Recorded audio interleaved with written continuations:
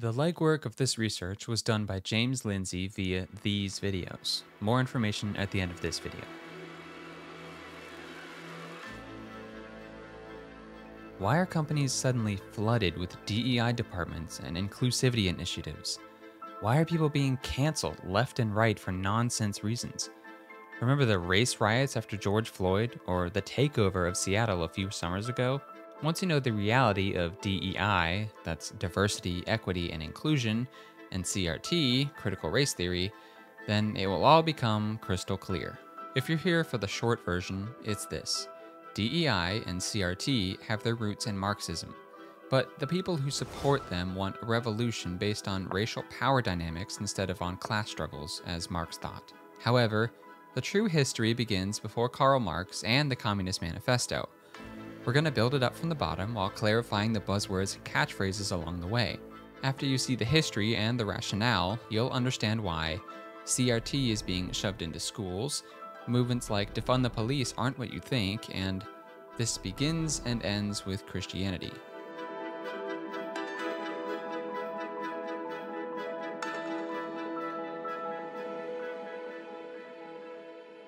Each major branch of philosophy builds on previous ones in some way, whether affirming or rejecting them, and the history of human thought goes back thousands of years.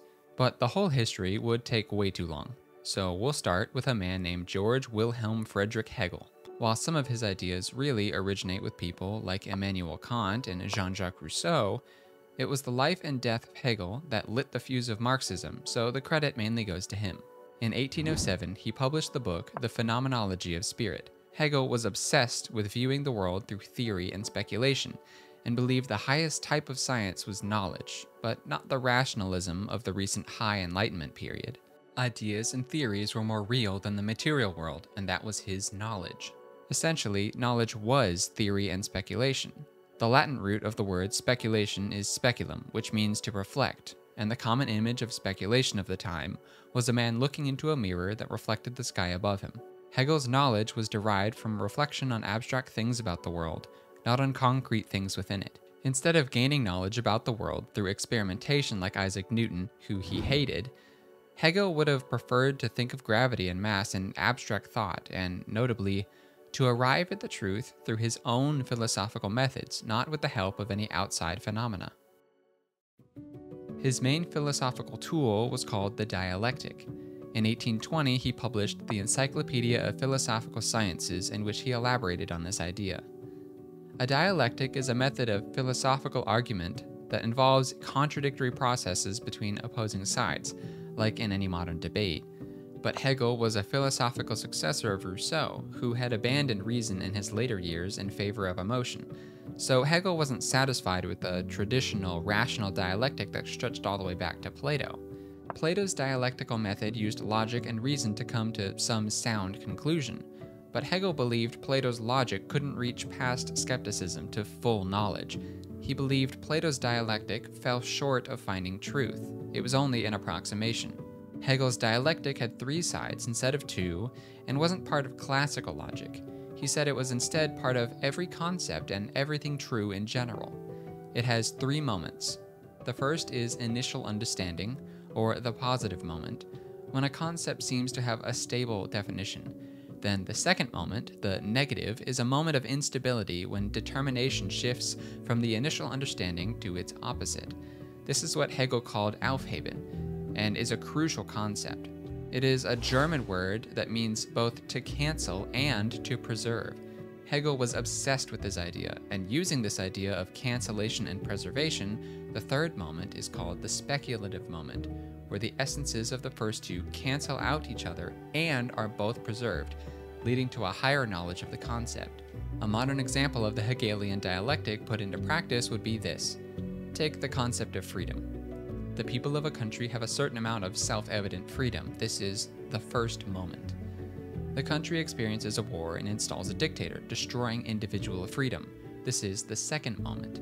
The Aufheben of these two concepts of freedom would be a permanent state that allows freedom, the speculative moment. If combining a thing and its opposite and getting anything other than nothing doesn't make any sense to you, well, you're not alone. But then again, you're operating on logic, and Hegel didn't like logic. This Hegelian dialectical method is the engine upon which the entirety of the rest of this history runs, so it's crucial that you understand it. From here on out, the moments of the dialectic will be referred to as the thesis, antithesis, and synthesis, respectively. Hegel was consumed with trying to find what was truly real. He believed that if the concept of being was a thesis and nothing was its antithesis, then the synthesis of these two concepts was becoming. When you see later scholars refer to transformation and unending progress for change, now you know where those ideas of becoming, or those beliefs, come from. Speaking of belief, Hegel also tried to understand the Christian belief in the Trinity through his dialectical framework. God was the ultimate truth, or what he called the absolute idea, completely transcendent. His opposite was nature, firmly rooted in the world and not transcendent at all. But since nature is unthinking and therefore incomplete, the synthesis of these two concepts, the absolute idea and the natural world, had to be in something higher than nature, and Hegel believed that to be embodied in the highest, most abstract form of humanity the state. Here is the beginning of evil. Common sense would say that a thing and its opposite, when combined, would cancel each other out and remain that way. But Hegel wasn't partial to common sense, and so history unfolded in his abstract world. The Christian belief was that Jesus Christ is the true bridge between God and the world, but Hegel replaced him with the state. That means Hegel's philosophy and all ideologies built upon it, including Nazism, Marxism, and identity politics, are all Christian heresies. They are all born out of the idea of adding something to God or replacing him outright, since he is apparently not enough for us. Indeed, Marx himself allegedly said, my object in life is to dethrone God and destroy capitalism. But here's where the ideas get really weird. Hegel believed that spirit, or Geist, comes from conditions created by the state. The objective spirit would meet its opposite, the subjective spirit, and synthesize to create a world spirit. Eventually, the dialectical process would progress enough that the world spirit would no longer be worldly, but would become the absolute idea.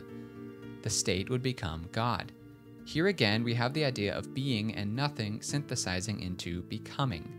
In short, the absolute idea, God, creates the state, the state creates the culture, and the culture creates ideas, which progress in a dialectical process until the state becomes the absolute idea.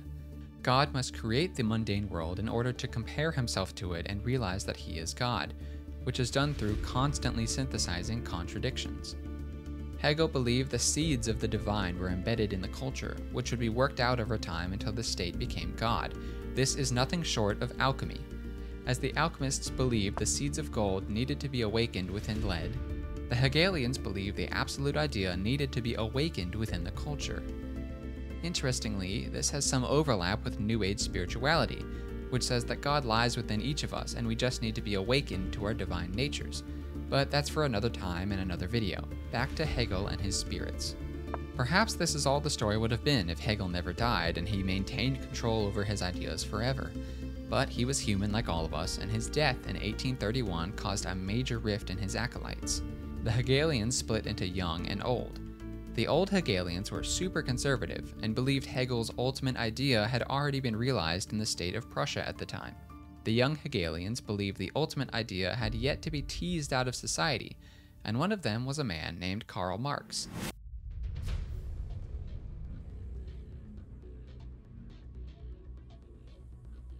Though a student of Hegel, Karl Marx rejected his obsession with speculation and ideas and strived to bring the dialectical method into the material world. He favored activism and science, so he called himself a scientist of history. The concept of his science of history was laid out piece by piece across several works, maturing over time, but is summarized like this Stage 1 History began as a primitive, tribal, communist society where everything was shared. Stage 2 Over time, some people took power over others, leading to dictatorships where the lower people were enslaved. Stage 3 This progressed into the feudal states of medieval times, made of many factions. Stage 4. Capitalism arose eventually, which gave immense power to the economic and political leaders of society. Stage 5. The oppressed lower classes would necessarily grow in contempt of capitalism until they could no longer take the pressure and would revolt, overthrowing the capitalist leaders and installing an administrative socialist state which would stamp out oppression over time until everyone was equal. Notably, socialism would abolish private property since socialism is the public, state, ownership of property. Then the state would dissolve itself and, stage 6, communism would arrive, where everyone was finally equal again. This was the logical conclusion since Marx was a secular humanist and didn't believe in the afterlife. Utopia could only occur on Earth through revolution, and then good people would finally rule the world. In 1848, one of the most influential books in history was published, in order to ignite the revolution of the working classes that would eventually bring about a communist utopia, Marx published the Communist Manifesto. It's common knowledge that Marx championed the abolition of private property and that religion was the opiate of the masses, but he also believed heavily in applying the dialectic to capitalism. The capitalist pigs took all the money and power, and their opposite was the poor, from whom they stole. This dialectical pair, or contradiction, could be exploited to bring about a synthesis and to move along the dialectical process. The proletariat revolution would only take place after a sufficient number of contradictions had all been synthesized, and like Hegel's absolute idea, the proletariat classes would eventually realize their true power. The manifesto took hold around the world and sparked many political movements, but on the timeline of American politics and in this history, the engine of Marxism, the dialectic, wouldn't be brought up again until 1903. In that year, after the Civil War and Reconstruction periods, a writer named W.E.B. Du Bois published The Souls of Black Folk, in which he reiterated the master slave dialectic of Jean Jacques Rousseau. This idea posits that a master is consumed by his own world and can't understand the world outside of his own, but a slave knows both his own world and the master's world in which he works. So the slave has what's called a dual consciousness. He alone is conscious of both perspectives. Du Bois also postulated that a country is truly made up of a folk, meaning race, so racial groups should be treated like countries. So then the thought shifted from the Rousseauian master slave relationships to racial master slave dialectics. For a modern example, some people differentiate between being black and being American. A black American would have two consciousnesses the American, which is a master, and the black, which is a slave. A white American could only have the perspective of the master, since white and American are part of the same terrible system, but more on that later. Around the time of Dubois, America wasn't alone in its socialist ruminations. George Lukács was the Hungarian Minister of Culture in 1919. He was part of a new formation of Marxism, later known as Cultural Marxism. As the Minister of Culture, he advocated for the liberation not of the proletariat working classes, but of sexual liberation as the driving force for revolution. This was the beginning of a new shift, which would explode in later decades with the writings of Antonio Gramsci, an Italian writer known as the godfather of cultural Marxism. While Marx had advocated for revolt along the political and economic lines, Gramsci realized that it wasn't working as well as it should. In fact, the lives of the working class people in capitalist America were going far better than their parents' or grandparents' generations. While imprisoned in Italy for many years, he wrote what would later be called the Prison Notebooks. Gramsci centered his philosophy on the idea of hegemonies. From Marx, a hegemony was a description of the dominion that one power has over another. This is the oppressive system Marx wanted liberation from. Hegemonies included political and economic means by which the prevailing power oppressed others.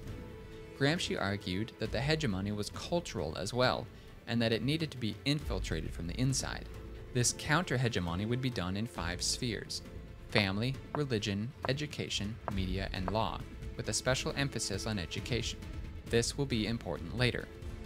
Thus, Gramsci advocated for what's now called a long march through the institutions, which means the cultural Marxists would play the long game, slowly turning the capitalist institutions against themselves. As Jesus of Nazareth once said, a house divided against itself cannot stand, and so the dialectic progressed.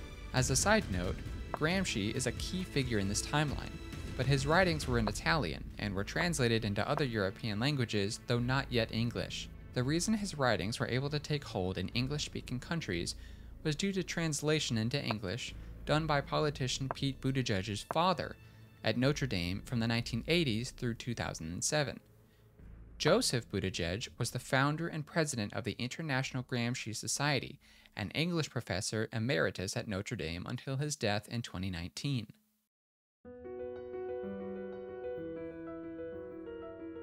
Though cultural Marxism shared much of its philosophy with Marx, two other branches of ideology were on the horizon that would reject Marx almost entirely. The first began when a certain Austrian painter became Chancellor of Germany in 1933. Adolf Hitler, as leader of the National Socialist Party of Germany, was aware of Hegel's dialectic and the progress Marxism aimed to make. He believed that the uprising of the oppressed classes would result in a race war. In order to get ahead of that, his goal was to make Germany into an empire of superior men and rule the world from the ashes of the race war. Marx championed class socialism, and Hitler championed race socialism. Though Nazis and communists hated each other throughout World War II, make no mistake, they come from the same root. Another school of philosophy was formed in the Weimar Republic during the interwar period and came to America after being politically ousted from Germany. The school was called the Frankfurt School, and the philosophy they brought was called Neo Marxism. Like the Nazis, the Neo Marxists had an interest in race, and like Marx, they rejected the philosophy that came before them, including traditional Marxism itself, which they called vulgar Marxism. The leader of the school in the 1930s was called Max Horkheimer, and his most influential student was Herbert Marcuse. In 1937, Horkheimer published Traditional and Critical Theory, which in the history of CRT may as well be their Bible, as it makes a critical distinction that forms the foundation of their activism. Traditional theories, Horkheimer said, emphasize epistemic adequacy. Epistemology is the branch of philosophy concerned with how one comes to know something, so traditional theories are just hypotheses, you aim to know something, so you test a theory to get to that knowledge. Critical theories, however, try to change the world instead of trying to understand it. Critical theories try to pick at the threads of society to awaken that critical consciousness. The critical consciousness, again, is the awareness of the slave of his own dual consciousness as described by W.E.B. Du Bois. Even with a fulfilled and happy life, the slave is unaware of his true servitude.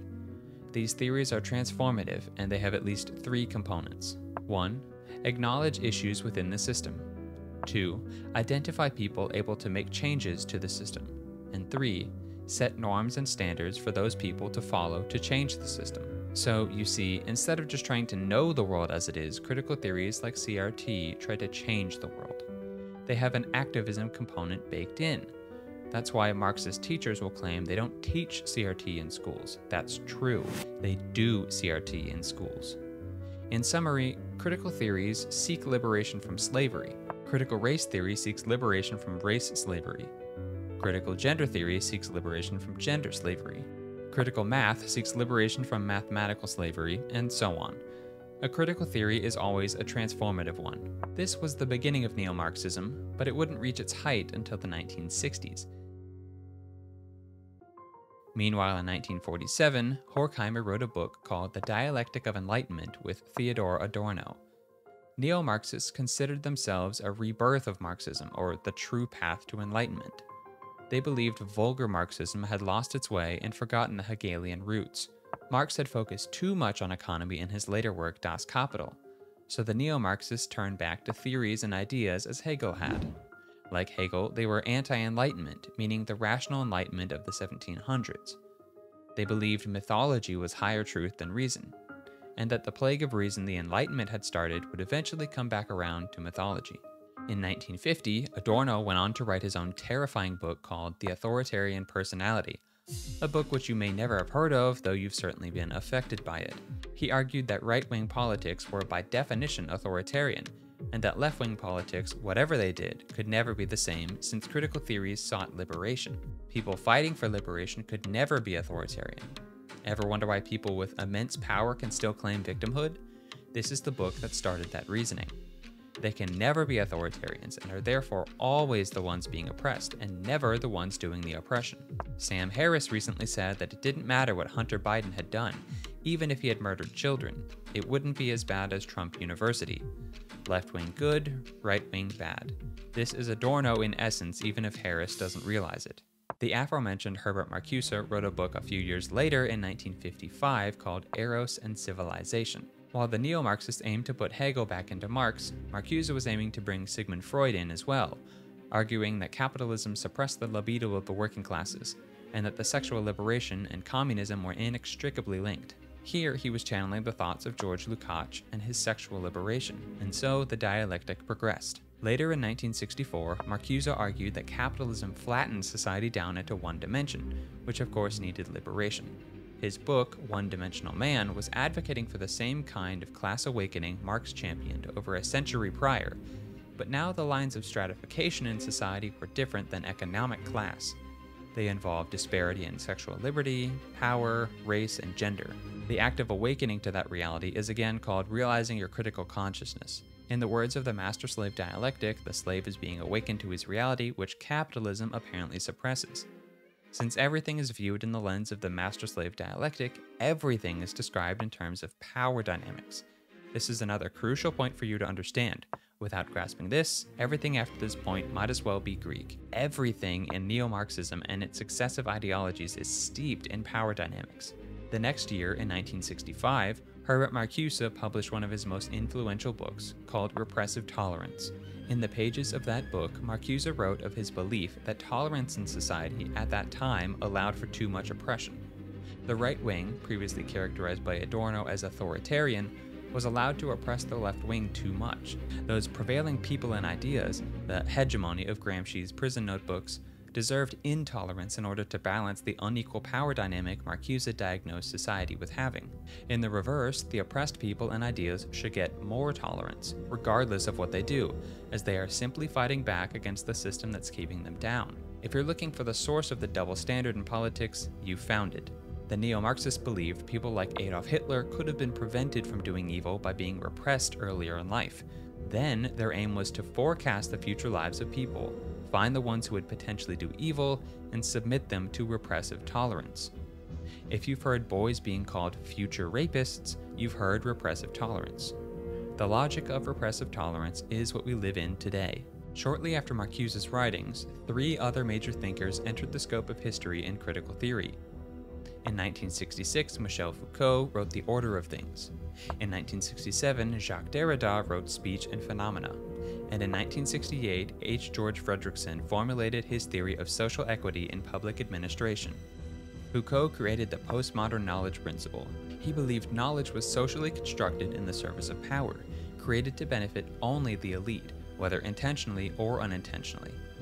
He called this thing power knowledge, but it's been immortalized by the phrase knowledge is power more recently, or rather, the ancient phrase has been co opted. Also, he took the power dynamics of Marcuse one step further, writing that the relationship between power levels is more important than the knowledge of truth or falsity. This is similar to Nietzsche. If God is dead, and therefore the source of truth is no more, all that remains is power. Derrida's contribution to the movement was in deconstructionism. He believed that words and language couldn't convey true meaning, since any word just referred to one or more other words. Therefore, the search for meaning never ends, it's infinitely deferred. Why this is important is because Derrida argued that there can be no objective interpretation of any writing. The words on the page just refer to other words in our heads, which refer to yet other words, and so on. This is the essence of postmodernism, which claims no ultimate reason. Derrida also believed words came in male female pairs, and to understand one word or phrase, you must use the paired word or phrase. Since history has largely been the telling of conquests of males, therefore the future is female. This was a big shift since Derrida modified the dialectic of Hegel. Instead of merging a thesis with its antithesis to get something greater, Derrida picked apart the first two concepts and left the pieces on the floor. This is one reason why many Christians decide to leave Christianity after deconstructing their faith. They don't build faith back up again after taking it apart. Once faith is taken apart, if there's no reconstruction, why would you remain a Christian who relies on evidential faith? Under Derrida, there is no objective interpretation of the Bible, and faith gets picked apart and left on the floor. If this happens, we can make Jesus say whatever we want. H. George Frederickson, who worked in public administration, coined the term social equity theory in 1968. At the time, public administration stood on two pillars efficiency and economy. Frederickson offered social equity, today just known as equity, as a third pillar to be added. This forced equity which is the neo Marxist word for socialist state administration, into American public administration and turned the movement into a bureaucratic disease. Reaching the height of neo Marxism in 1969, Horkheimer and Marcuse would make more large waves. Horkheimer gave a small speech on his critical theory of decades prior, reiterating the things he had said before, and Marcuse published his greatest book, an essay on liberation. If you remember that critical theories seek liberation, you'll see Horkheimer's influence on his prodigy. But first, a jump back in time. Just after the turn of the century, Teddy Roosevelt was president, and the United States was gripped by multiple powerful monopolies. If Marx had been right about capitalism leading into socialism, that would have been the moment the revolution would have happened. But, due to Roosevelt and Taft after him, that future never came. Instead of a proletariat uprising, the trusts were broken up and the lives of the lower class workers were greatly improved. Marcuse and Horkheimer recognized that Marx had been wrong. Unlike the cultural Marxists who agreed with Marx in principle but added to his philosophy, the neo Marxists rejected him outright. In other words, they conceded that the American dream was real. But they still wanted their revolution, because even though the lower class Americans were satisfied with their lives, the neo Marxists thought they were just deluded that they just hadn't been awakened to their critical consciousness. So, in order to do that, the dialectic progressed. Marxian class revolt was dead. Joseph Stalin's communist Russia had been a disastrous, deadly joke of an experiment, and old Marxism was now vulgar. Marcuse said we needed a new sensibility, or a new way of looking at the world. In other words, he was saying that real communism had never been tried. He believed that while the proletariat in Russia had revolted and taken over, because of their outdated sensibility, they became oppressors themselves and collapsed. This new sensibility would have to be identity driven, and the target of his changing efforts would be the ghetto populations.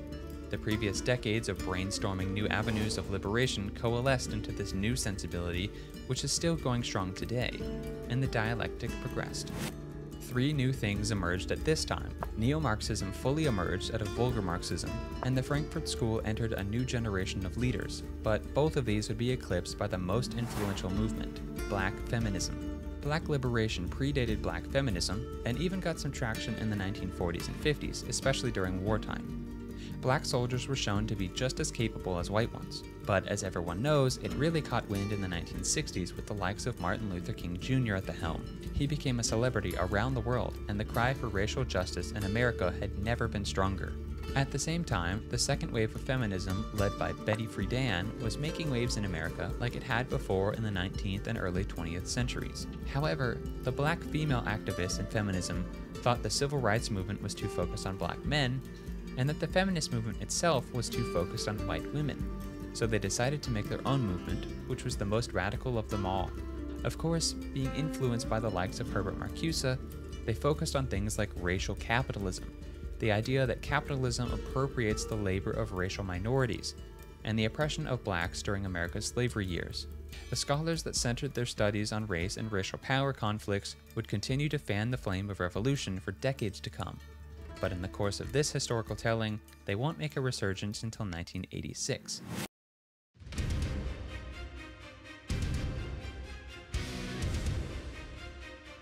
In the late 1960s, after the civil rights movement, people like Weatherman Bill Ayers and Herbert Marcuse's PhD student Angela Davis traded the peaceful protests of Martin Luther King Jr.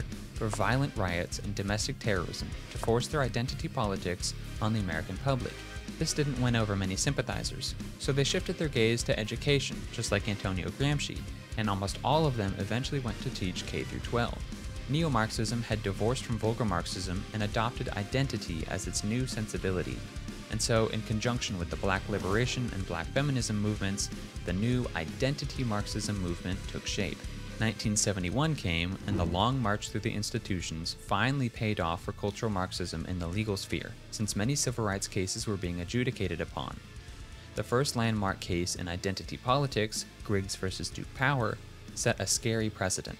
Duke Power had been giving intelligence tests to people in the lowest tier of employment to determine if they could advance in their careers, and they did so knowing that black Americans couldn't read as well as whites, since schools hadn't caught up yet after desegregation.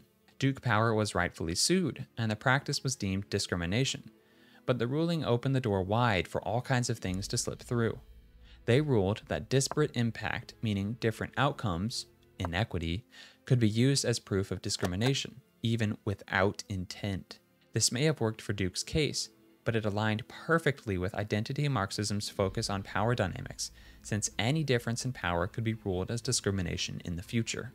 The next year, a woman named Pat Bidol published Developing New Perspectives on Race, which changed the landscape entirely, again. Less than a decade prior, MLK's 1963 I Have a Dream speech advocated for judging everyone on the content of their character, not the color of their skin.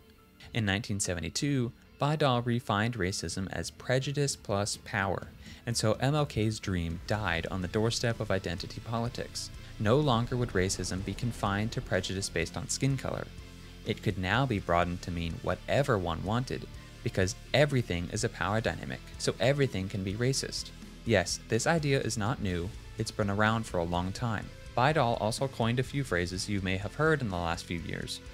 You are either part of the problem or part of the solution. People are either racists or anti racists. There is no neutral. Ibram X. Kendi has Bidol to thank for that one. In 1973, Bidol produced a manual in conjunction with the NEA, the teachers' union, which was then disseminated through the public school system. Don't be surprised if the teachers' union today supports critical race theory. They have for a long time. It's not about teaching your kids to learn to read and write, it's about power. Next up in 1974 was the forming of the Combahee River Collective, named after the 1863 raid of Combahee River, which was conducted by Harriet Tubman, in which emancipated 700 slaves. Unlike Tubman, the organization was styled as a black feminist lesbian socialist collective, and it put out the Combahee River Collective Statement in 1977. This was the height of black liberation and black feminism that had emerged out of neo Marxism and the civil rights movement. This statement is credited with introducing the concept of interlocking systems of oppression within society, which is a key part of intersectionality. Another event happened in 1977 that isn't core to DEI but is still interesting. Angela Davis made a statement to her friend, cult leader Jim Jones. Contrary to popular belief, Jim Jones wasn't a crazy Christian, but a neo Marxist. Angela compared the two movements and called them one and the same. I attempted to say, though not very eloquently, that we are with you, and we appreciate everything you have done, and we know you are going to win, and in the final analysis, we are all going to win. Back to Combahee River, the goal of introducing intersectionality was for one reason to bring other movements of oppressed minorities under one banner to carry water for the black feminist movement. And it worked like a charm. In 1978, another landmark court case was ruled upon, Regents of the University of California versus Bakke was a case of racial discrimination in the University of California. Affirmative action was ruled as being legal because it can sometimes be justified by a need for diversity. However, they ruled that having only a few minority students in a university wouldn't be enough to give them a comfortable experience, and the minority voice wouldn't be adequately represented, since they would be some kind of token students. So, a significant number of minority students would be required to alleviate the problem. Even though quotas were acknowledged as being illegal, race quotas got in through the back door that this case opened up. This adequate number of minority students was called a critical mass. Justice Lewis Powell laid out a set of principles to be used in university admissions. 1. Quotas are illegal and cannot be used. 2. Everyone should be reviewed under the same admissions track. 3. Race should be included as a plus factor in addition to things like life experience, talents, or geography. 4. Applicants should be treated as individuals, not stand ins for any particular group. 5. No favoritism should be given to any race. But you can see, especially through Principle 3, how this system of principles can be exploited. And it was.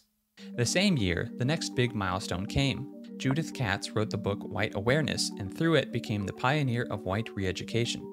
She believed the system of whiteness that was ingrained in America was racist, and in her own words, the program strives to help whites understand that racism in the United States is a white problem and that being white implies being racist. Read that sentence again. Being white implies being racist. Therefore, white people can't win racism is the combination of prejudice plus power, and whites are the default or master race in America. So, no matter what happens, thanks to Adorno's authoritarian personality, whiteness is discrimination. Whiteness is racism. It was plain to see even in 1978. 1979 had yet more milestones on the critical race theory history track. John Francois Lyotard wrote The Postmodern Condition, in which he coined the term legitimation by paralogy. Fancy words aside, this is the concept of consensus making things true. If enough people agree on something, then that thing becomes true. You can see how, like Lyotard said, this is very dangerous. He was actually warning against it in his book. Nowadays, this concept is combined with repressive tolerance. The right wing is suppressed and the left wing is supported. Then, enough popular leftist voices agree on something and that thing becomes true. Unfortunately, some members of the media, some members of the media, some members of the media, some members of the media use their platforms to push their own personal bias, to push their own personal bias and agenda to control exactly what people think. This is extremely dangerous to our democracy. This gives people immense power and is akin to the idea of might makes right. Another important court case came that year too. United Steelworkers versus Weber took a big step down the road that Griggs versus Duke Power and Regents versus Bakke had created. Women and minorities were given the ability to be favored in sex or race conscious hirings as a form of fulfilling the backdoor quotas. Remember, the running idea was that the system was inherently off balance, with the elite controlling the oppressed. And so, to right that imbalance, this ruling was handed down. Also, the statute of limitations on historical oppressions was lifted. Essentially, the Supreme Court agreed that historical oppression, like American slavery or women's rights suppression, was enough to allow someone special hiring privileges in return. If a limitation was given, the justice for that oppression may never come to pass. So, historical oppression was allowed to refer to any historical oppression ever, and the oppressed status would never be lifted. That's why reparations will never work today because the same people can just keep claiming victimhood with legal precedent.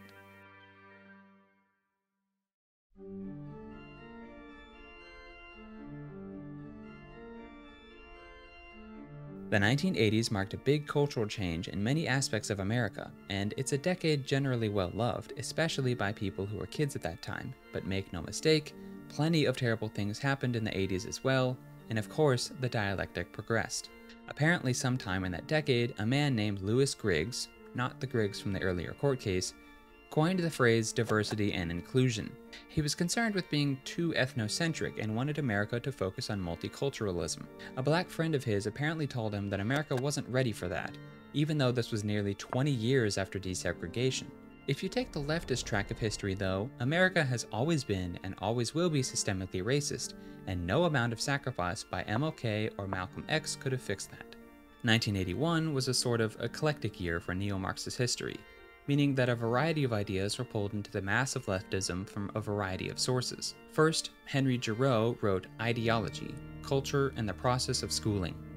His ideas were built on the work of Paulo Freire, a Brazilian educator, Freire had written Pedagogy of the Oppressed in 1968, which was translated into English in 1970. Pedagogy is best understood as the approach to teaching, so you can see how critical theory entered into education, just like Antonio Gramsci had prescribed. Freire's book included a detailed Marxist class analysis and is the third most cited book in social sciences. Henry Giroux treated Freire like some kind of godly figure. While he wasn't as direct as Freire, who cited Lenin and praised Mao, Henry Giroux cited Horkheimer, Marcuse, and Adorno in his work. Between these two works, the traditional pedagogy was replaced by critical pedagogy, and the counter hegemony brought education into its fold. The cultural Marxist revolution takes place in steps. Nowadays, some may say that Marxist teaching wants to replace the family with the state, but that isn't exactly accurate. The institution is the middle step between those two, which is why parents are being told they need to listen to the schools, and why teachers are emboldened to dictate the lives of their students. The schools will eventually give way to other institutions, and lastly to the state, which will control all, as in George Orwell's 1984. At the same time all of this was going on, Jean Baudrillard wrote Simulacra and Simulation, which is basically The Matrix. If you've seen The Matrix, you've seen Simulacra and Simulation. Literally, the book is featured in the beginning of the movie before Neo meets Morpheus. Baudrillard's book was mostly a warning, not advocacy for simulation theory. He believed there was a sort of hyper reality, something more real than real. This hyperreality is formed socially and linguistically through social interaction and language, but we choose to live in this hyperreality instead of the real world. Imagine someone who chooses to live as some sort of internet avatar instead of their real selves, just like Ready Player One, or Second Life, or The Matrix. Baudrillard also said that there was a major focus on race within this framework, meaning that people would choose to live as their race instead of their being. A black American doesn't live as a human who lives in America and is black, but as a black American human. Let's put a few of these milestone books together. Because of Freire and Giroux, the public education system could then teach its students to deconstruct their realities with Derrida, focus on power struggles with Hegel, Marx, and Marcuse, criticize everything with Horkheimer, study race with Bidol and Katz, and choose to live in this hyper-reality that Baudrillard had described. And all of this was true using Lyotard's legitimation by paralogy, meaning that consensus made right, and was allowed by several powerful court cases over the prior few decades. Lastly, in 1981, some of H. George Frederickson's social equity work had paid off with the introduction of the Professional Standards and Ethics Guide for Public Administrators published by the ASPA. The essential takeaways from this policy were the following Social equity had been made the third pillar of public administration and was to be implemented by two standards. First, to recognize that citizen A is equal to citizen B. Great, sounds good. And second, when citizen A and citizen B are unequal, citizen A is to be made to be equal with citizen B. This contradiction makes no sense for the people who realize equality and equity are polar opposites, but it's perfectly fine for the people who want to accelerate the contradictions, like Lenin said, or in more relevant terms, progress the dialectic. Any policy on DEI in public administration, or private for that matter, will start by acknowledging that people are equal.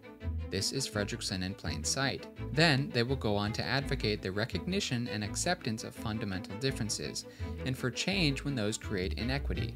This is also Frederickson. Now you know the basics, comrade. A few years later, Bell Hooks published Feminist Theory From Margin to Center in 1984.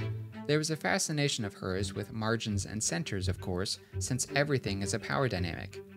The powerful are in the center, and anyone not a part of that group gets marginalized. You will see that the journey from Hegel to Hooks over a length of 177 years is a straight line. She writes that ideas and theories, just like Hegel said, are essential this time for effective feminist movement. This movement will mobilize people to change society, straight from Horkheimer as well. Revolutionaries seek to make society better, and thus need the revolutionary philosophy of dialectics. They also need a body of ideas, an ideology, based on finding and changing the contradictions in society in order to reach a higher reality. Boom, critical theory. I mentioned the year 1986 in part 3. Here, that foreshadowing comes to fruition. Critical race theory, though not yet called by that name, would be birthed out of the critical legal studies movement in 1986. The object of the critical legal studies movement since the late 70s had been to use critical theories and point out and undermine dialectical contradictions found within the US legal system. This was on mission directly from Antonio Gramsci, and many of the people involved had worked tireless careers to achieve their goals. However, the whole movement was about to explode. The advocates of CLS believed the civil rights movement had been exhausted, and so of course their approach was far more radical.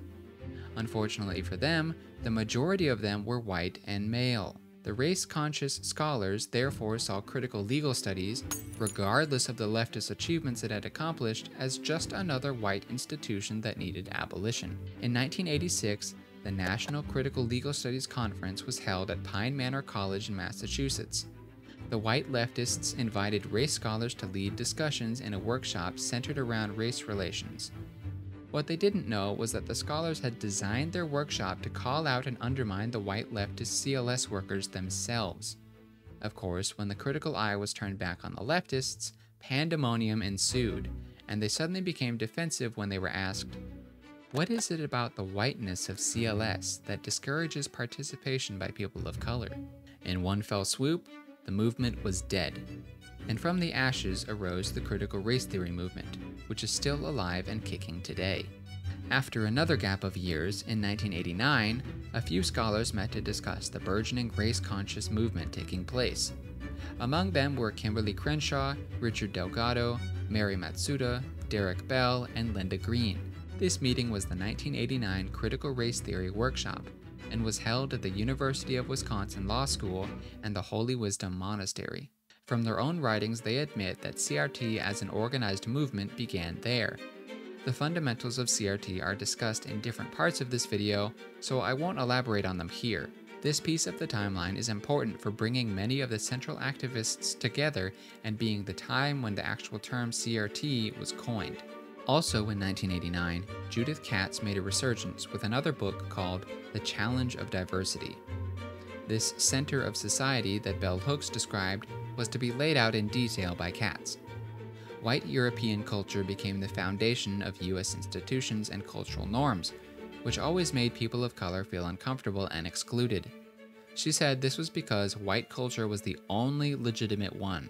Of course, common sense says otherwise, but Katz was functioning on legitimation by paralogy.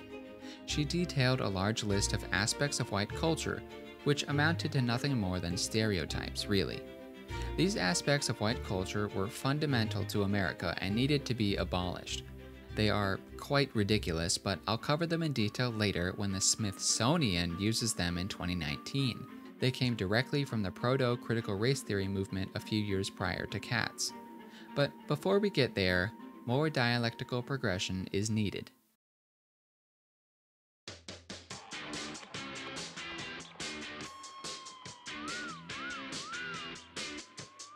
1990. The 80s were gone and a new era emerged. All the prior successes and failures had built up to this moment. This year was the beginning of wokeness in the form we know today. It began with Patricia Hill Collins, who published Black Feminist Thought, which is still widely used in feminist and women's studies around the country. She invoked the dialectic repeatedly throughout the work. Keep in mind that before this time, the link between neo Marxism and black feminism was Angela Davis, of course, Herbert Marcuse before her encouraged critical thinking in black liberation movements, since he saw them as the ghetto populations he wanted to radicalize. But Angela Davis was his activist protege. She planted the seeds of the tree from which Patricia Hill Collins was picking fruit. By her words, black feminist thought simply existed as resistance to the systems of oppression that affected US black women, and without those systems of oppression, black feminism wouldn't exist the two exist in a dialectical relationship. Black feminist thought supported any measure of activism or policy that sought to fix the problems generated by any number of intersecting identities black women existed within. Unsurprisingly, Patricia Hill Collins later published a related book called Intersectionality. A man named Mike Oliver published The Politics of Disablement in the same year as Black Feminist Thought and increased the length of the intersectional roll call with the addition of the disabled. A few years earlier, he had coined the term social model of disability, and in the 1990 book, he stressed the responsibility of society to make up for the lack of ability disabled people had. This kind of equity is something nobody minds today. If someone can't walk, they get elevator access or a handicap spot. If someone is blind, they get braille signs or raised dots on the sidewalk. This kind of equity raises the people up who can't do certain things for themselves and gives them the same outcomes as others. But no one thinks this is crazy because, like I said, they can't do these things for themselves. A blind person can't just start seeing. But as Presidents Theodore Roosevelt and Howard Taft showed, with the proper rules set in place and exploitation minimized, under a capitalist system, the lowest of workers can have a good life. But Marxist ideology assumed then and assumes now that the system makes people different and that they can't overcome those differences, ever. How depressing. At this time, H. George Frederickson was again part of an eclectic mix of ideas brought into the fold of woke ideology. He published Public Administration and Social Equity in 1990 and continued to push for social equity in public administration. He argued that public administration, while at the time neutral and focused on economy and efficiency, should in fact be involved in politics and policy making. To say that a service may be well managed and that a service may be efficient and economical still begs these questions. Well managed for whom? Efficient for whom? Economical for whom? Clearly, he stressed the appearance of power dynamics even in public administration, and considered public administration another aspect of American culture that needed to be disrupted, dismantled, and rebuilt. The next year, one of the most famous critical theorists of the 21st century entered the literary scene.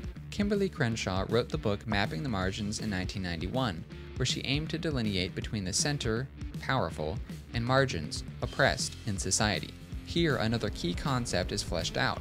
Structural material determinism is the idea that the structure and material of one's immediate culture are what make the person the way they are. There is no balance between nature and nurture, it's all nurture. This is what made every white person complicit in racial oppression of blacks. The fact that they grew up in the white, European, Christian West made them implicitly racist. Think again of MLK's I Have a Dream speech. We should all be judged by the content of our character, not the color of our skin, right? Crenshaw posited that material and structure, cultural aspects, including skin color, determine the character of a person so MLK's dream could never have been realized. Now you see why pointing an identity Marxist to the civil rights movement doesn't do anything. They believe it didn't go far enough. Just look at Angela Davis. Many people previously, in response to the slogan Black Lives Matter, asked, But shouldn't we really be saying all lives matter? They're now finally getting it. That as long as black people continue to be treated in this way, as long as the violence of racism remains what it is, then no one is safe. Kimberlé Crenshaw also recognized the power of Jacques Derrida's deconstruction, but made it clear that the racial categories of identity politics shouldn't themselves be deconstructed. Deconstructionism just leaves the pieces on the floor, and the racial categories were needed to fuel the revolution. Without that fuel, the fire of Marxism would dwindle and be snuffed out. She believed that the act of putting people into categories was some form of oppression done by the people in power, which is in line with the modern thinking that you can't call a child molester a pedophile. It's hurtful and racist.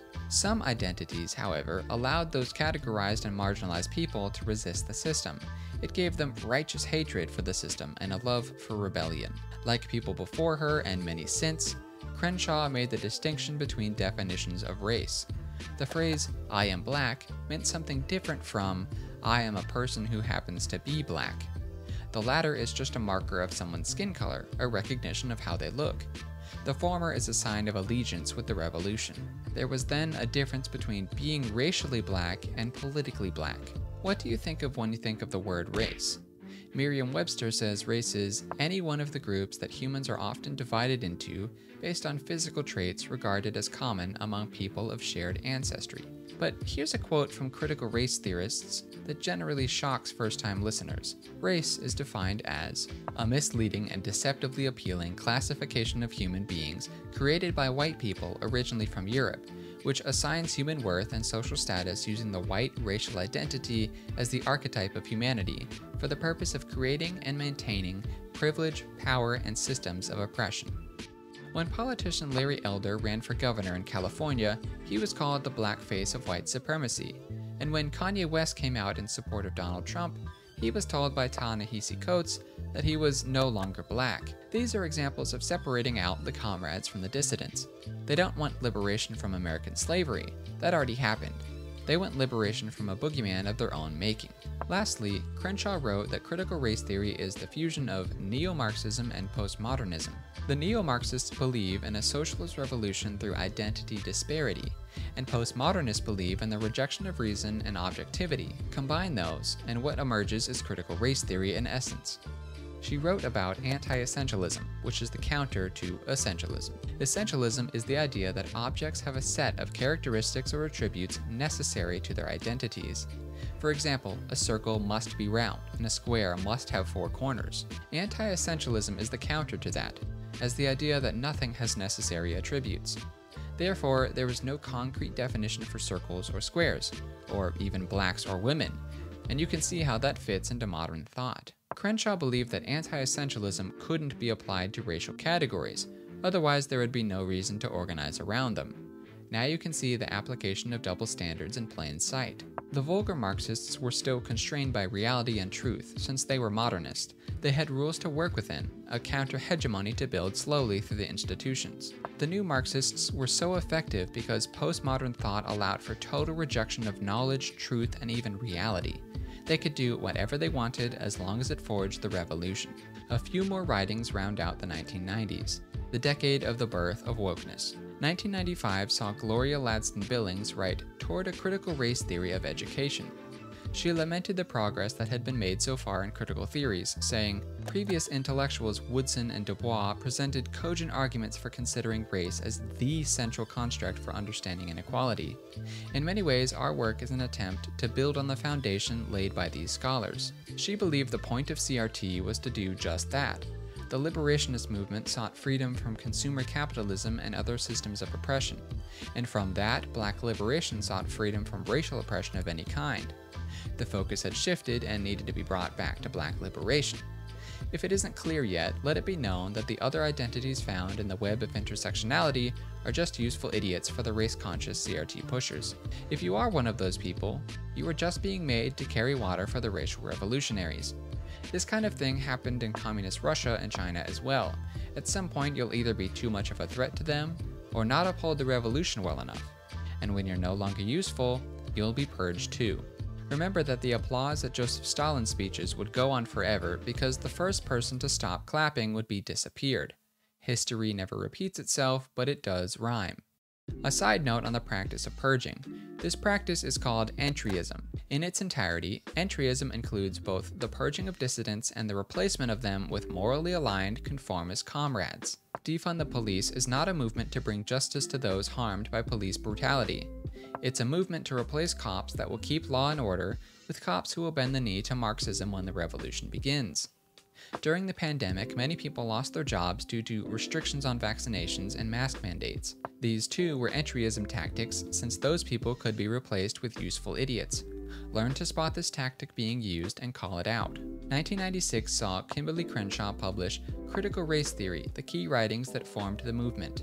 If the link between critical race theory and neo Marxism hadn't been clear enough, this summary book removed all doubt. The CRT movement was organized by a collection of neo Marxist intellectuals, former New Left activists, ex counterculturalists, and other oppositionists. She explained that it infiltrated law schools to expose and challenge the ways American laws apparently legitimized the oppressive social order. But really, it was CLS at that point and morphed into CRT after 1986. Critical race theory is explained as being emancipation from race slavery in all its forms. Remember that definition of race from earlier. The definition of CRT cannot get more literal than that. The idea of race slavery having all kinds of forms, combined with the released statute of limitations on historical oppression afforded to them by the courts, gave and still gives critical race theorists some of the most powerful political tools ever wielded in American politics. 1997 was the year when Charles Mills wrote The Racial Contract. You can see how the hyperfixation on race continued even as Y2K approached. Jean Jacques Rousseau's philosophy made a resurgence here, mainly his idea of the social contract. The social contract is the sum of all policies in society that all members of said society subscribe to in order to be a member of that society. They are fundamentally agreed upon. The racial contract asserted that there was a racial component to social contracts that every white person consciously or subconsciously agreed upon, just like Paulo Freire asserted with his hidden curriculum in schools that excluded non white students. Note that I said asserted. Luckily for Mills and Freire, the basics of postmodernism allow for them to make baseless assertions and have them taken as gospel.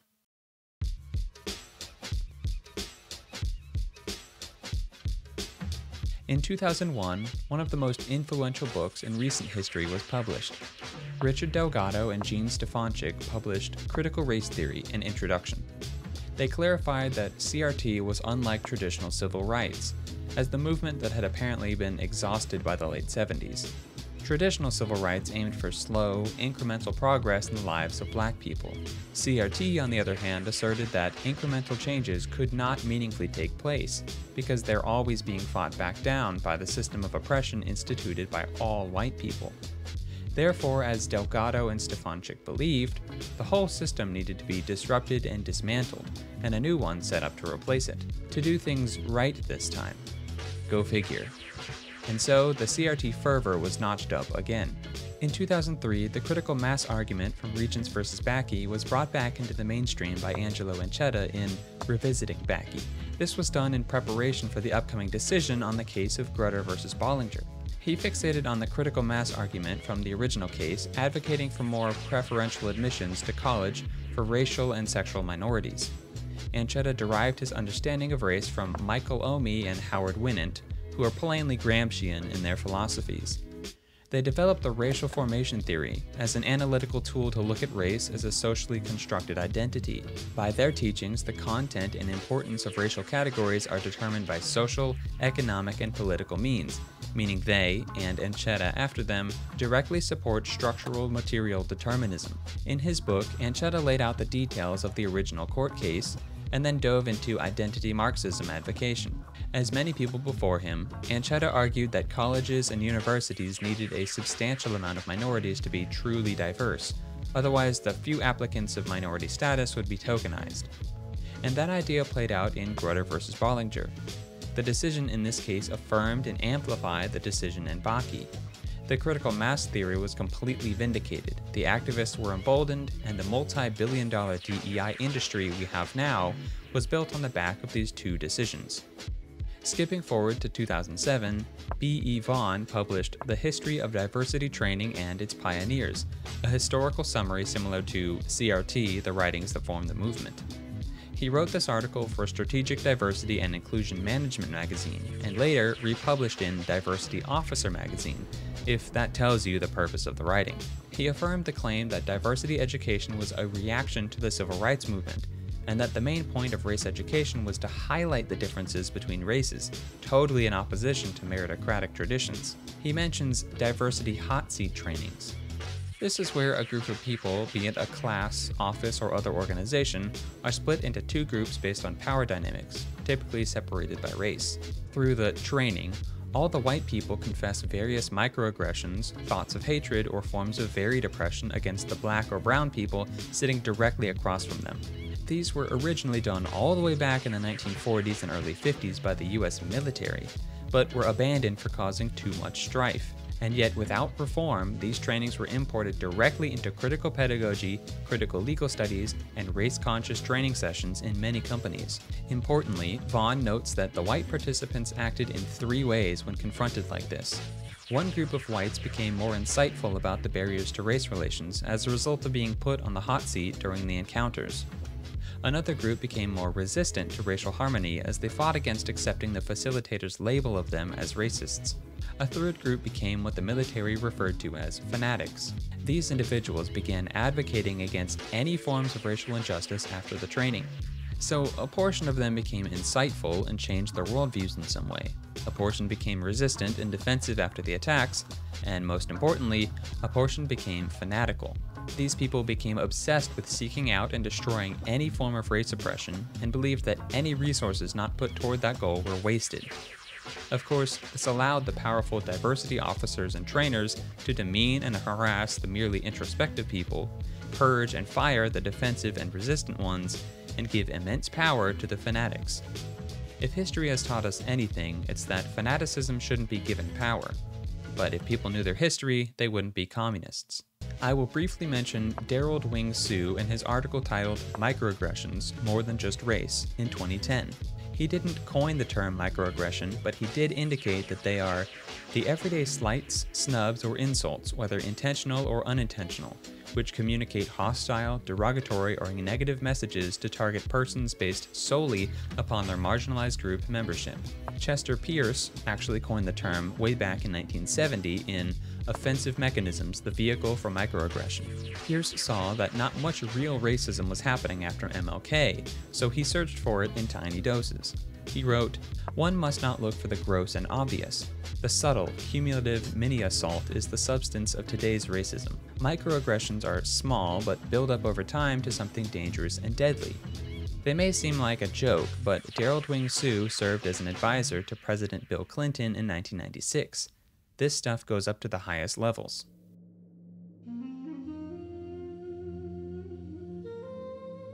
This point is where things take a vicious and evil turn. When I say evil, I don't mean some nebulous definition. Critical race theory post 2010 devours people. It takes advantage of the average person's common decency and desire to do good and warps it into advocacy for whatever they want. Let me make it very clear that I do not advocate for harm to come to the people who push for CRT and its related ideologies. Of course, I do want justice for them whenever they step out of line, but the traditional correct definition of justice, not the warped, corrupted neo Marxist idea of justice. You will see shortly why I claim that these ideas are evil. It's the evil ideas that must be abolished, not the people. In 2010, while microaggressions were being toyed with by Derald Wing Sue, Barbara Applebaum was foisting her writings upon the world with a hideous book titled Being White, Being Good White Complicity, White Moral Responsibility, and Social Justice Pedagogy. You can kind of get an idea of the whole book just from the title. All white people are infected with racism. Racism meaning power and prejudice, by the way. The relevant point for now is that all white people are racist or complicit by virtue of benefiting from privileges that are not something they can voluntarily renounce. Applebaum cited Charles Mill's racial contract argument, claiming that all white people conspire against all non whites all the time. They aim to keep a permanent grasp of power and create a permanent subclass of non whites, apparently. White privilege protects and supports white moral standing. All whites are responsible for white dominance, since their very being depends on it. One thing used to perpetuate the system is white ignorance. To achieve the racial contract, there is a need to perpetuate ignorance and to misinterpret the world as it really is. Whites aim to stay rooted in the master slave dialectic from all those years back, apparently. In her words, the racial contract is an officially sanctioned reality that is divergent from actual reality. One has an agreement to misinterpret the world. But her idea of reality truly stems from the mind of Hegel, who didn't believe material reality was all that important, so she exists in a contradiction but that's not a problem for postmodernism. Next comes the white savior of all repressed minorities, Robin DiAngelo, in 2011. Her gigantically popular book, White Fragility, garnered global attention and made her millions of dollars. Many years prior, Judith Katz had wanted multiculturalism to be more widespread, and wanted all races and their cultures to be perfectly balanced. Her concessions to the white race are gone in DiAngelo's work. In fact, she says, a positive white identity is an impossible goal. White identity is inherently racist. White people do not exist outside the system of white supremacy. Again, she emphasizes that discrimination takes place unconsciously, but as Chester Pierce before her was searching high and low for racism, she says that most discrimination happens that way. More than this, even saying, we don't discriminate, I'm racially colorblind, or I treat everyone equally, just serve to stand in the way of real racial justice. This is what they call white talk. These attitudes turn a blind eye to the true reality and allow unconscious discrimination to continue unabated. She also makes a distinction between diversity as it was commonly known and critical diversity. In practice, diversity is not a variety of perspectives formed by various experiences being brought together. No, diversity really refers to people who, though they have different backgrounds, all have the correct politics. Diversity of race means diversity of people who understand their place in the system of prejudice and oppression. This awakened state is, again, called critical consciousness. Next, in 2012, DiAngelo published her worst book called Is Everyone Really Equal? In it, she changes the idea of minority from a noun into a verb people can be minoritized or oppressed by the power system domination of white hegemony. Furthermore, a collection of people of the same race is never benign. There is always some form of exclusion going on. Common sense would tell us that because we do not believe in discrimination, we do not engage in it. However, most discrimination is unconscious and takes place whether we intend to discriminate or not. DiAngelo advocated for seeing people not as individuals, but as members of key racial groups, since seeing people as racial groups allowed for seeing the patterns of structural injustice allegedly existent. To point out the relevance of our group memberships is to challenge a privilege to which we often feel entitled. The privilege to see ourselves and be seen by others as individuals outside of social groups. On the white side of things, if a white person gets defensive, as people often do when confronted, this isn't to be taken as a profession of innocence, but of guilt. This is known as the Kafka trap. Any claim of innocence must be used as proof of guilt. Their defensiveness sends an unwelcoming message to anyone else in the room who may want to engage constructively. Defensiveness in this context is an indication of a dominant worldview, and it functions to protect that worldview rather than expand it. Lower any defensiveness you may be feeling.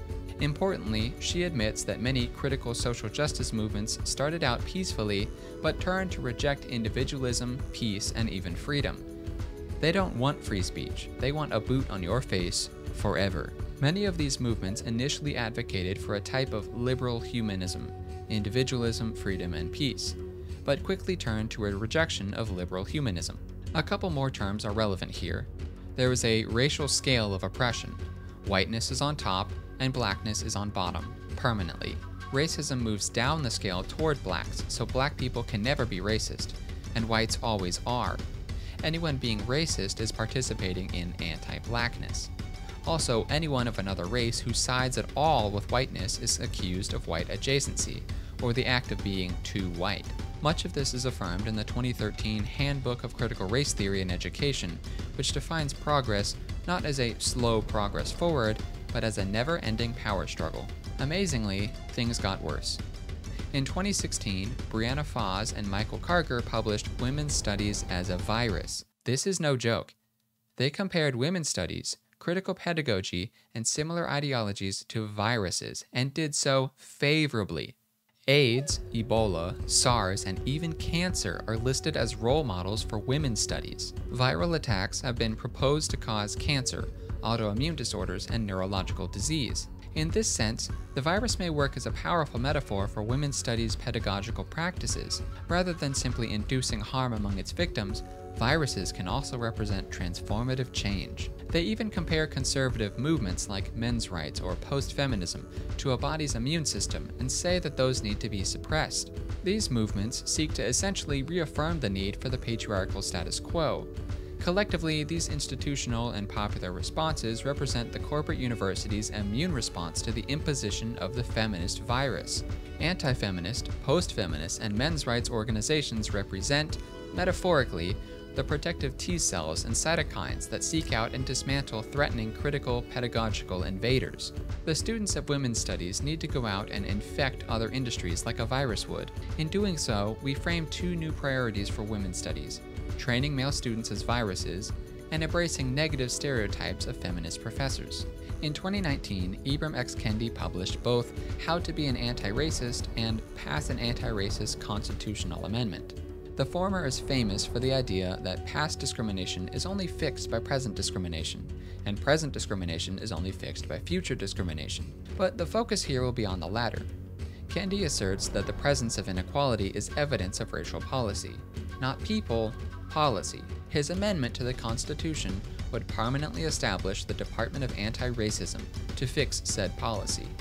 The DOA would oversee all federal, state, and local policy to ensure racism isn't present. Also, the amendment would make racism over a certain threshold and the racist thoughts of public officials illegal. To fix the original sin of racism, told you it was a Christian heresy, Americans should pass an anti racist amendment to the U.S. Constitution that enshrines two guiding anti racist principles. His misspelling, not mine. Racial inequity is evidence of racist policy, and the different racial groups are equals. The amendment would make unconstitutional racial inequity over a certain threshold, as well as racist ideas by public officials, with racist ideas and public official clearly defined. 2019 also saw Kimberlé Crenshaw appear again with her book Seeing Race Again. In wonderful candor, Crenshaw said that meritocracy, a pillar of Western civilization, stood outside the system of power and therefore didn't support the racial revolution. This essay revisits the history of how critical race theory emerged as an intellectual response to colorblindness in the context of institutional struggles over the scope of equality and the content of legal education. Institutional actors from across the political spectrum embraced a gradualist strategy of integration of CRT into society premised on the assumption that the colorblind meritocracy stood outside of the economic and racial power. A cursory reading of any of the post 2010 works mentioned here will reveal how blatantly they admit their craziness. CRT continued to push into all aspects of America. In 2019, the Southern Baptist Convention passed Resolution 9 at their annual convention, which, though it claimed the misuse of CRT was the problem, still allow the use of CRT in SBC churches. In 2020, the state of Washington implemented CRT into government, a new and scary step. The State of Washington Office of Equity Task Force forged their final proposal for outlining their goals and duties. They blatantly claimed the desire to disrupt and dismantle the current American system of oppression. Their goal was to make equity work everyone's work, so no one is really safe from ideology. They also have a focus on inclusion and belonging. These words don't mean what they seem to mean to average people. Inclusion the notion that an organization or system is welcoming to new populations and or identities. This new presence is not merely tolerated but expected to contribute meaningfully into the system. New populations and identities here are marginalized groups. Toleration refers to repressive tolerance, so supporting strictly leftist policies and people. Inclusion is therefore the welcoming in of decidedly Marxist or leftist ideologues. From Pragya Agarwal in Belonging in the Workplace A New Approach to Diversity and Inclusivity, the intention is not to focus on trying to hire people who will fit into workplace culture or support the employee in fitting into existing workplace culture at the cost of their own identity. The idea is not to ignore differences, but to normalize how we discuss and talk about them. The idea is that everyone is different, and they are equal. Inclusion and belonging were apparently needed to address racialized trauma in Washington marginalized groups needed to feel actively welcome, meaning that the goalposts will always be moved. Because how can you fully control someone's feelings of belonging from the outside? You can't.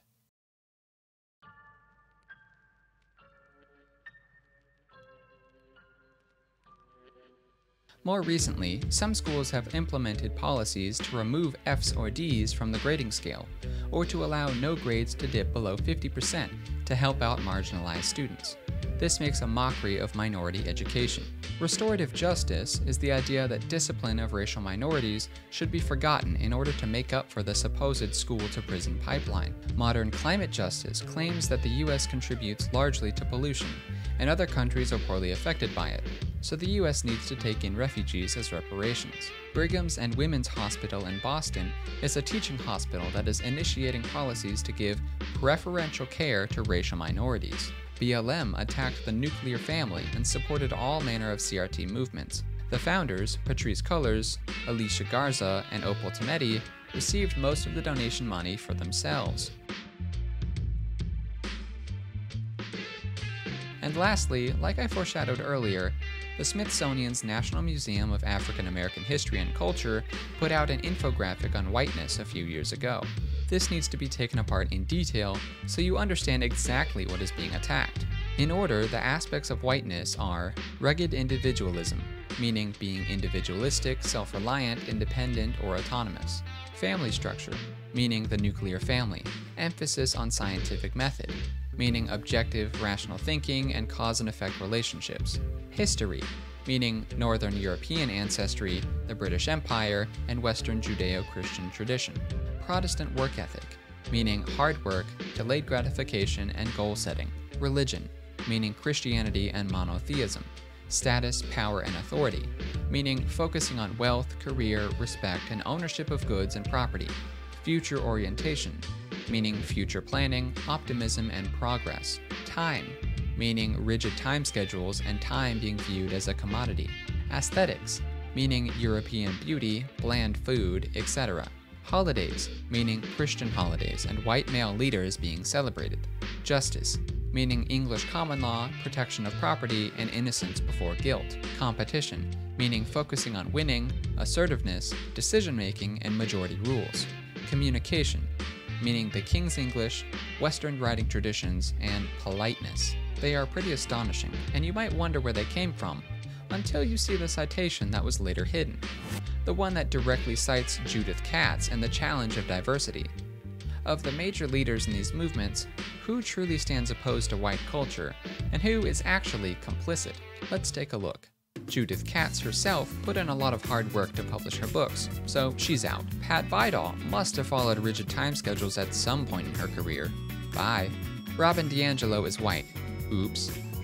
On a side note, I think white fragility is really just about her. There's a term in religion called scrupulosity. It's characterized by pathological guilt or anxiety about morality. Essentially, it's the feeling that one is never good enough or is never doing enough. It can be a form of OCD, and Robin may have it, but for critical race theory. Read her book and keep an eye out for projection. You will find it. Ibram X. Kendi certainly cares about wealth, which is part of whiteness. Oh well. Kimberlé Crenshaw has no problem being a respected authority in the CRT movement. Sounds like a dissident to me. Gloria Ladson Billings must have been future oriented when she planned the future of CRT. Bad Marxist. Patrisse Cullors values authority as the head of BLM. Guess she's not black anymore. Angela Davis actually has white ancestors, so she has reparations to pay. Betty Friedan was certainly very individualistic in her feminist efforts. Out. Herbert Marcuse was a white man, so forget about it. Max Horkheimer and his theories used cause and effect relationships a lot. Bye bye. Antonio Gramsci not only recognized white culture, but wanted to work within it to beat it. Terrible. Karl Marx was very European. That's not good enough. George Hegel used rational thinking in his theories, even though he denounced rational thinking. White. You see, none of these people are good enough, even by their own standards. What will happen in the future is what always happens. The tippy top people in the movement will purge literally everyone else until they're the only ones left or they die. And then the movement will collapse, just like the USSR. The only question is how many people will die before that happens?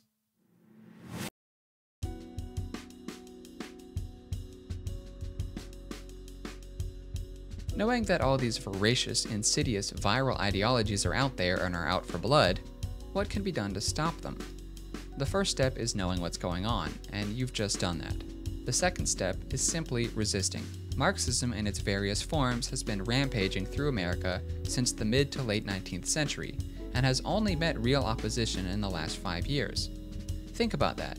More than 120 years to grow a monster and it's already crumbling. Where George Orwell was wrong in 1984 was that he assumed the state would live on in evil forever. It won't. It will always be ended or end itself. Hopefully, it can be ended in America before it really begins.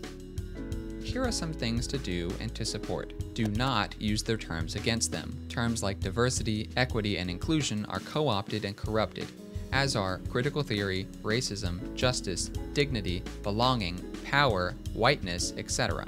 Really, use these terms with caution and always verify the definition. Otherwise, use different terms because they will outplay you in linguistics. See this video to understand how to speak woke. An example, don't bother with Christian nationalism. Even if you want some kind of theonomy, which personally I don't support, using phrases like Christian nationalism is playing into a trap. Have you heard of the book called Beautiful Trouble? It's been called the Updated Rules for Radicals by Saul Alinsky. When considering action, that is, the things that bring real change, the handbook, Beautiful Trouble, says the real action is your target's reaction. This means real change is made when the opposition to wokeness falls into the trap. Christian nationalism is a trap, since the term has already been socially engineered to mean white supremacy. Marjorie Taylor Greene fell into that trap. Don't make that same mistake. Take a look at the Social Justice Encyclopedia from newdiscourses.com. It's an invaluable resource to really understand the terms and where they come from. Support the basic American message of e pluribus unum. It means from many, one, meaning many people truly come together to make one country. Critical diversity means from one, many, which aims to split people up into arbitrary groups and pit them against each other. Think about it. If the masses are fighting over race, no one will call out the rich and powerful who are actually doing exploitation. Read Abusive Language, Abusive Power by Joseph Pieper. Expose the abusive language that Marxists do. Sadly, you may also have to become some form of an activist. The golden years of American luxury are gone. It's time to do the dirty work and save this country. You might just be able to stand up and say, I don't know about all this stuff. That's enough. That will do. But don't stand there and do nothing. Promote and enforce accountability. There are stories of leftist employees asking their CEOs to initiate DEI or to do racial hiring. The CEO accepts and puts the burden on the leftists. He tells them, go ahead and do that. If you can hire X amount of people by X date, you get a promotion and a new title. Otherwise, you're fired. Weeks later, the leftists quit. Accountability is anathema to Marxism. Know your rights. Study the Constitution and basic law in America. Study the bylaws of your local school board. Hold them to account. Stand up and speak. Bring a friend. Build groups. Don't go alone, or critical race theory will swallow you whole. Ask your leftist friends this If the CRT stuff keeps progressing, at what point would you say, that's too much? At least get them thinking about it even if they don't give you an answer. Harvard is currently in the midst of an anti Asian discrimination court case that puts affirmative action on trial. A win for the Asians could overturn the decision made in Grutter versus Bollinger, which would be huge. Support that case. At the beginning, I said that this story begins and ends with Christianity, and then, save for Hegel and the Trinity, I pretty much didn't really touch it again. Well, here's the ending. This all began with the Christian heresy, and the activists now are literally professing their disdain for Christianity specifically and their desire for its downfall. So, of course, the correct response is to support what they attack. They only attack what they think is a threat, and Christianity is at the top of that list, really. Who would want to be accountable to God if they could instead do whatever they want and never face consequences? Even if you aren't Christian, you can agree with this resist the devil and he will flee from you. The antidote to communism is discernment and accountability. Luckily, Christians have been practicing discernment for 2,000 years, and the Jews for far longer than that. Judeo Christian tradition is uniquely poised to undo the evil done by communism in America, and strong, effective, attractive leadership is needed in churches and synagogues, as well as in family, media, education, and law. You must resist. Like Benjamin Franklin wrote so long ago, join or die. That isn't a threat. Either you join the resistance to evil or the evil will kill you. Your choice.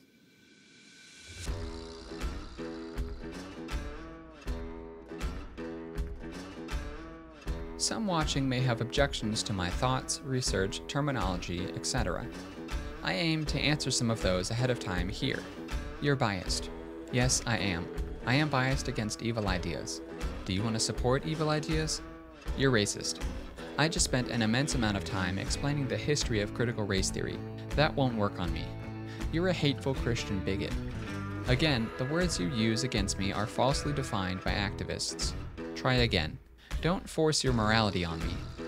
Two things. One, you clicked on the video. Two, that statement is a moral statement. You think I ought to do otherwise than I'm doing. Don't be a hypocrite. Stop doxing these people. They are public figures, and I have used only the information they published themselves. No doxing here. You're taking their words out of context. I've given long quotes from various books and articles, not snippets. I've also provided all the links for said articles and books. Check for yourself. Be accountable. That's not what socialism means. Socialism is group ownership of the means of production. Historically, that group has been the government. Groups are not private, they are public. The word public comes from the Latin word publicus, which means of the people or of the state. Denying this is denying the long history of people who support this definition. That's not what wokeness is. This video is a comprehensive history, not an exhaustive one. There are many other persons and writings that contributed to woke culture, and much more can be said on that. However, my aim here was to educate people on the general Marxist history of wokeness and to inspire them to stand up against it of trying to consolidate a conformity among the American people uh, in opposition to what was called communism in those days. Today it's called woke, but in those days it was called communism. Christians shouldn't be involved in politics. Yes, they should. They aren't supposed to be absorbed in it, but it's politics that allow for freedom of religion, and letting that freedom go to waste is tragic.